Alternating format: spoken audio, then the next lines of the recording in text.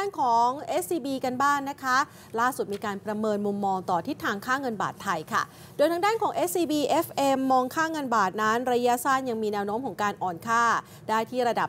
36 บาทถึง 36 บาท 50 สตางค์ต่อดอลลาร์สหรัฐค่ะ ในขณะเดียวกันนะคะจะเริ่มกลับมาแข่งค่าได้ เมื่อเฟดมีการลดอัตราดอกเบี้ย และทิศทางเศรษฐกิจไทยนั้นปรับตัวดีขึ้นค่ะ มุมมองดังกล่าวนี้นะคะ สะท้อนออกมาจากทางด้านของคุณแพทริกปูเลีย ผู้ช่วยผู้จัดการใหญ่ ผู้บริหารสายงานตลาดเงิน ธนาคารไทยพาณิชย์จำกัดมหาชน หรือ SCB FM เปิดเผยว่า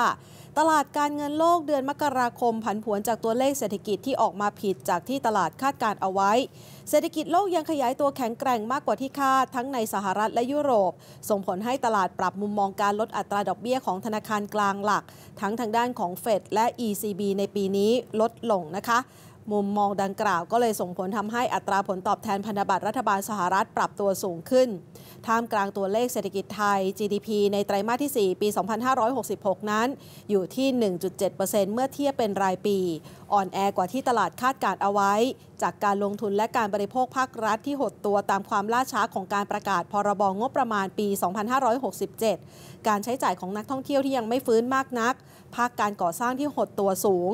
ทำให้มีการประเมินนะคะจาก SCB FM ว่ามีโอกาสที่กรงงนั้นจะลดอัตราดอกเบี้ยในปีนี้ตามที่ตลาดคาดที่ 2 ครั้ง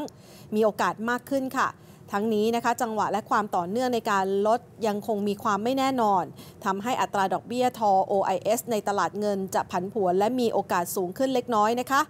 SCB FM ประเมินว่าระยะสั้นเงินบาทยังมีแนวโน้มอ่อนค่าในกรอบ 36 บาทถึง 36 บาท 50 สตางค์ต่อดอลลาร์สหรัฐ แต่ในระยะยาวค่ะจะกลับมาแข็งค่าได้จากปัจจัยดังต่อไปนี้